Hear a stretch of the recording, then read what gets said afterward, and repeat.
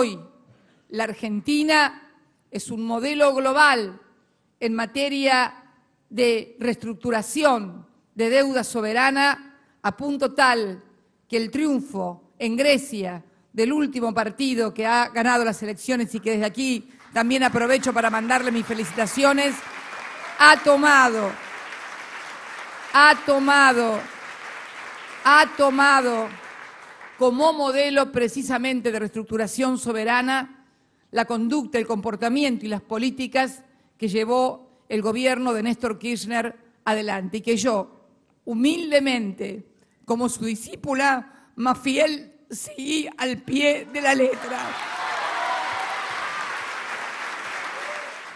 Pero no nos quedamos únicamente con desendeudar la nación, porque la nación no es una entelequia, la nación es el pueblo y también son las provincias.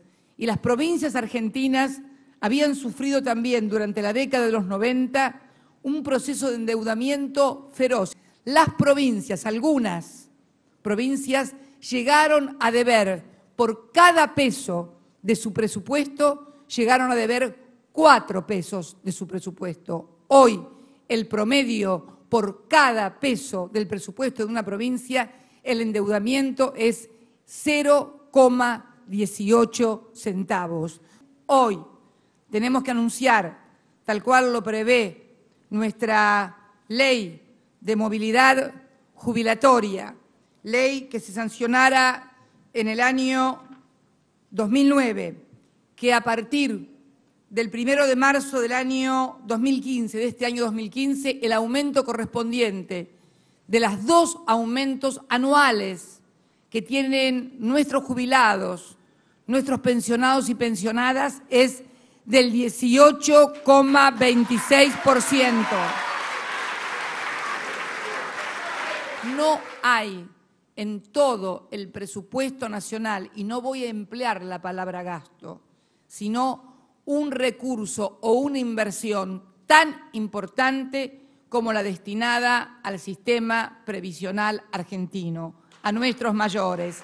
El 78,2% de los hogares argentinos cuentan, que cuentan con un ingreso previsional perciben más de un haber mínimo. Fíjense ustedes, 78 más de un ingreso jubilatorio y previsional. Y somos también el país con mayor cobertura previsional de toda Latinoamérica. Ustedes saben que en unas horas más parto para la República Popular China.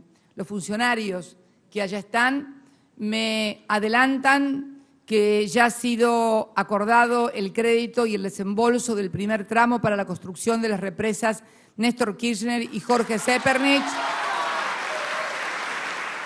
por un total de 287.723.536 dólares, lo que va a permitir poner en ejecución la obra hidroeléctrica nacional más importante de nuestra historia.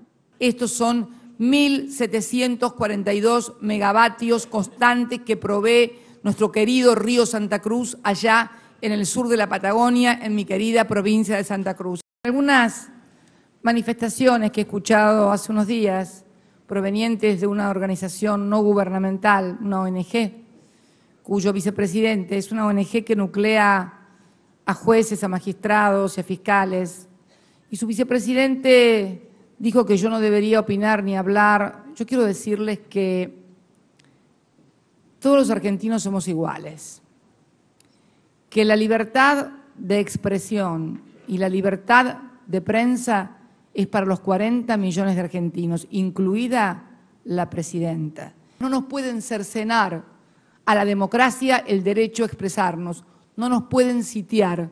No me interesa una democracia silenciosa ni silenciada porque no es democracia. Ya hubo demasiado silencio en este país. Lo que pasa que tal vez lo que no guste no es que hable, sino las cosas que digo. Estoy dispuesta a debatir, a discutir, a pelear, si les gusta, a confrontar, como dicen, por nuestras cosas. Pero por favor, no permitamos que nos traigan acá conflictos que están causando desolación, muerte y agobio de otros pueblos porque no tenemos esas contradicciones. No permitamos que nos dividan.